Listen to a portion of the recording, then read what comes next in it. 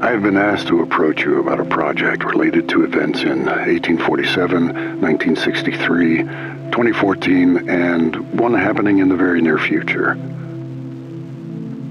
At least two individuals in Europe are confirmed to be involved, but ties with several international contractors have been identified. The financing of the venture has been traced to a US-based corporation. You can expect to be contacted by them soon. They will possibly hire an actor to communicate with you through a video. This video is designed to gauge your interest in interpreting patterns, patterns, patterns, patterns, and solving puzzles, puzzles, puzzles, puzzles.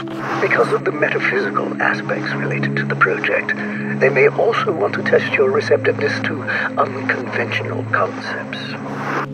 To gain your trust, this person might offer their unsolicited advice or ask you questions about your dreams and memories, but you will likely never see the face of the person speaking. My personal advice is not to play along with their strange game. You're being led around in a maze of deceptions. Think back on when they first tried to contact you. Do you remember? Do you remember the maze? Do you remember the maze? Do you remember the maze? Do you remember the maze? Do you remember the maze? Do you remember the maze?